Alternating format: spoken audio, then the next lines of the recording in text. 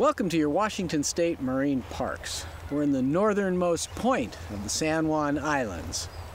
It's Patos Island State Park.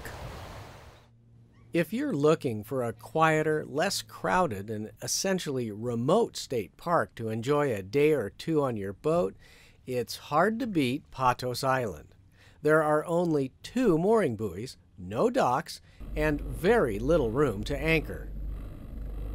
Located not much more than a mile from popular Sucia Island, Patos is just a stone's throw away from Canada.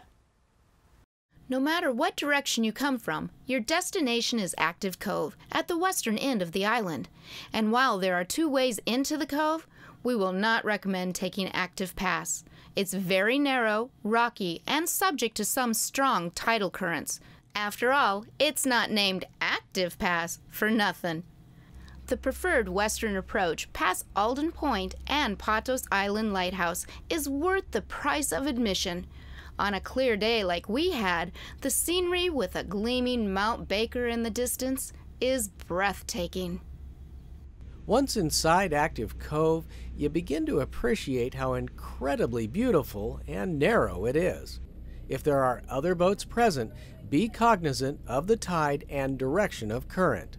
After securing a buoy, you are rewarded with one of the most secluded spots in the Washington State Marine Park system. Sucia and Orcas Island are visible to the east. To the west lie the Gulf Islands of British Columbia. Beautifully sculpted sandstone lines the cove not more than a hundred feet from the boat. Reflected sunlight paints a constantly changing picture, reaching all the way up into the trees. Our cruising guide lists Active Cove as the only possible anchorage, and to use the park mooring buoys if at all possible. If you must anchor, adding a stern line might be the way to go. At the head of the cove is a large gravel beach for landing your dinghy or kayaks. Drop off your payment for the buoy or register if you have an annual mooring permit. Here you'll find sun drenched picnic tables, fire pits, and a total of seven campsites. The beach offers more sandstone sculptures and at low tide, an opportunity to do some tide pooling. Fun for any age. It turned out to be a wonderful spot to spend the evening and watch the sunset. The next morning, we awoke to an increasingly overcast sky. Wanting to explore more of the island, we went ashore just in time to look back and see a raft of 30 sea lions enter the cove.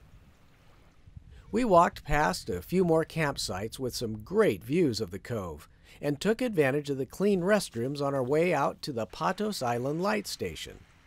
It's an easy walk out to the lighthouse, with part of it actually paved. Once you reach Alden Point, you're rewarded with a 270 degree view encompassing the United States and Canada. Not to mention the busy shipping lanes with freighters heading to and from Vancouver. On our way back, we stopped to enjoy some delicious ripe blackberries. The one and a half mile trail loops around the western end of the island, providing a bit more strenuous hike on the northern shore, as well as the remnants of past island dwellers and lighthouse keepers. For a personal historical perspective of Patos Island, pick up a copy of Helen Glidden's The Light on the Island.